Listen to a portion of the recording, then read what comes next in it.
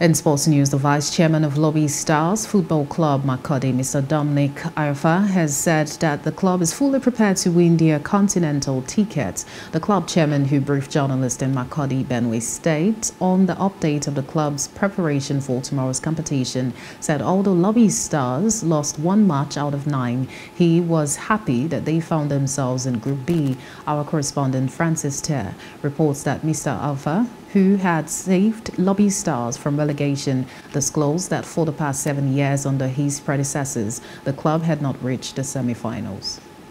Six, I'm going on something. Lobi day inside. The every competition that is coming up, up to precision training, Lobi day inside. There's nothing you do that Lobi not be inside. So what are you looking for? There's nothing that you talk about football in this country now that Lobi not be inside. Tournament prize money, one billion. One billion. Top 12, top G's, based in North Central. How many teams are in North Central? You know. Our Lobby Star is picked among the two best teams in North Central. In this state, when you talk of somebody that have passion for something, it's different from when you believe there's money there and you want to go and get it instead of being what you are.